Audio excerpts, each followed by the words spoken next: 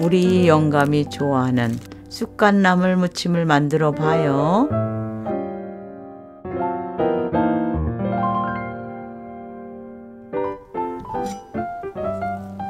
쑥갓 끝부분은 잘라서 버려주고 이제 쑥갓을 데치러 가봐요.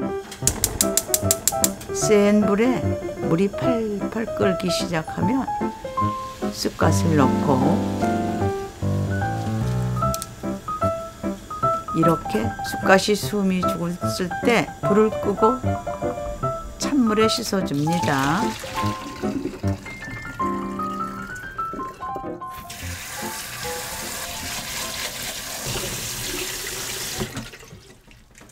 쑥갓을 꼭 짜줘요.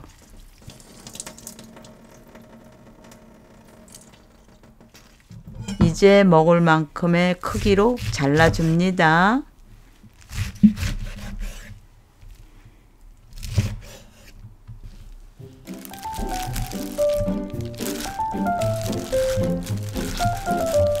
액젓, 소금, 다진 마늘, 파를 넣고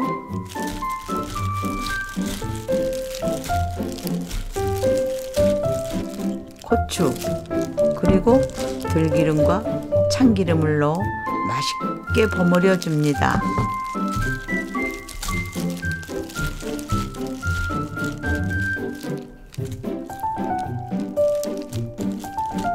자, 이제 먹어볼까요?